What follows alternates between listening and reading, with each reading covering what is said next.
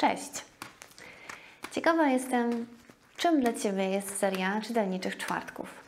Czy to tylko inspiracja, a może skrzynka z narzędziami do tego, w jaki sposób wykorzystać różne techniki i książki do lekcji ze swoimi uczniami. Dzisiaj na tapecie mamy uważność. Pierwsze narzędzie, które wykorzystuję w lekcji ze swoimi uczniami, to piłeczki do żonglowania. Od tego zaczynamy zajęcia, aby skupić się na koncentracji, nastawić na tor uważności i to jest dla nas bardzo dobry start. Drugim narzędziem, jakie pojawia się na każdym fit polskim, to słoik wdzięczności. Ci, którzy mnie znają, wiedzą, że mam trochę obsesję na ten temat, ale wytłumaczę ją prostym zdaniem, pytaniem. Co by było, gdybyś dzisiaj obudził się tylko z tym, za co podziękowałeś wczoraj? Po prostu rośnie w naszym życiu tylko to, co podlewamy i o co dbamy. Książką, którą dzisiaj się zajmiemy, jest pozycja Przyjaciele z krainy uważności, komunikacja. Książka autorstwa Agnieszki Pawłowskiej, która jest jednym e, z kilku części całej serii. Dzisiaj mówimy o komunikacji.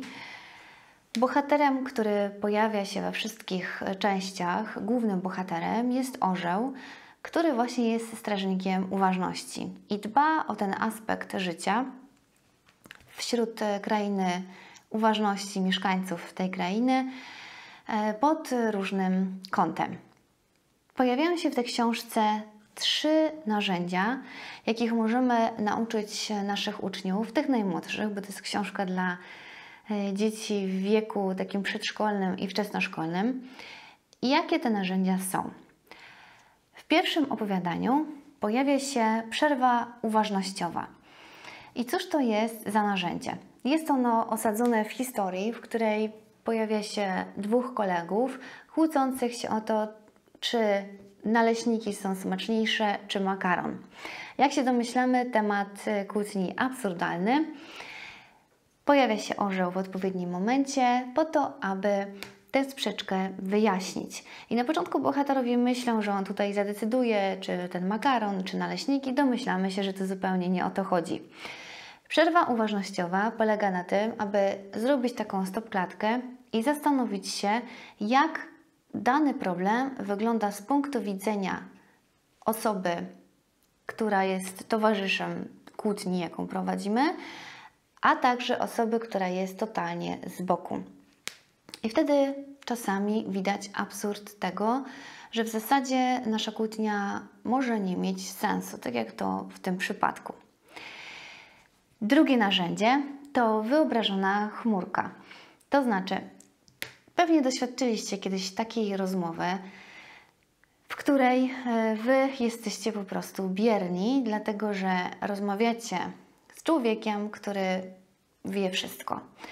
Zaczynacie jakiś temat, e, albo nawet lepiej, ta osoba Was o coś zapyta, ale sobie sama udziela odpowiedzi albo w momencie, kiedy Wy chcecie coś opowiedzieć i się coś przypomina, że w zasadzie w całym tym kontekście to ona miała jeszcze ciekawszą historię i Wam ją właśnie opowiada. No i tak z czasem, z czasem, z czasem jesteśmy coraz mniejsi. W zasadzie się zastanawiamy, czy my tu jesteśmy jeszcze potrzebni. I o co tutaj chodzi? Jeżeli jesteśmy człowiekiem, który ma tendencję do tego, że zawsze musi najwięcej przestrzeni zająć w danej rozmowie, to zawieszamy nasze myśli na chmurce i pozwalamy im po prostu odpłynąć. Jeżeli okaże się, że będą dla nas ważne, to one do nas wrócą podczas y, tej rozmowy i będziemy mogli o tym opowiedzieć. To było drugie narzędzie. I trzecie narzędzie, bardzo istotne, składające się tak jakby z trzech elementów. Mianowicie są to trzy mądre sita, których używamy wtedy, gdy chcemy podjąć decyzję, czy to, co mamy do powiedzenia, faktycznie powinniśmy komuś powiedzieć. Pierwsze sito, przez które przepuszczamy daną treść, to jest sito prawdy. Jeżeli przez to sito przejdzie, no to myślamy się, że chodzi o to, aby to było coś, co jest po prostu prawdziwe.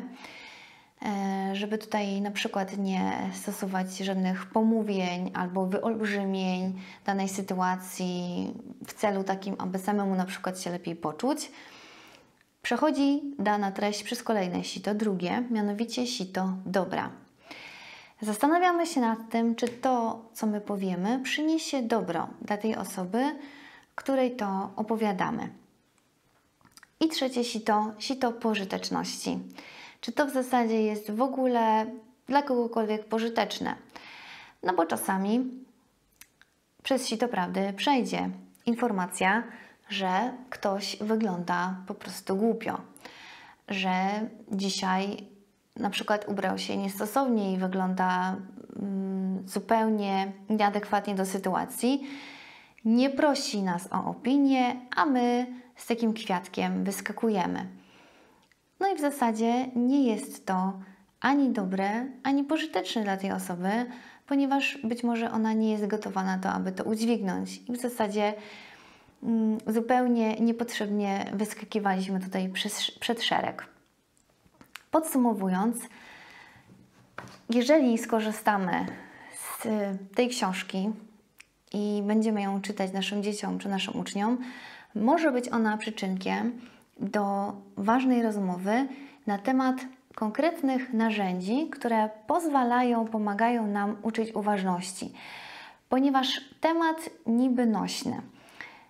W wielu kręgach bardzo dużo na temat uważności się mówi, ale jeżeli przychodzi co do czego, do treningu, czasami trudno nam jest wytłumaczyć, czym ta uważność w zasadzie jest, bo nie jest tylko momentem zatrzymania się. Coś w tym momencie zatrzymania się należy zrobić. No i tutaj mamy trzy gotowe narzędzia, które możemy w świetny sposób zobrazować najmłodszym, po to, aby taki trening rozpocząć i mieć po prostu taki punkt zaczepienia do tego, żeby dalej ten trening uważności prowadzić. Bardzo Was proszę o to, abyście pod dzisiejszym filmem napisali w komentarzu, w jaki sposób Wy tę uważność trenujecie wśród swoich uczniów czy w swoich dzieciach. Y, I czy znacie na przykład y, serię Agnieszki Pawłowskiej? Jestem ciekawa, bo to jest e, książka polecana w szerokich e, gronach, w różnych e, miejscach. O niej słyszałam bardzo wiele dobrego, dlatego też po nią sięgnęłam dla mojej oliwki i mam nadzieję, że dla Was to będzie też pozycja cenna. Oczywiście subskrybujcie kanał, bądźcie z nami na bieżąco. Widzimy się za dwa tygodnie w kolejnym odcinku.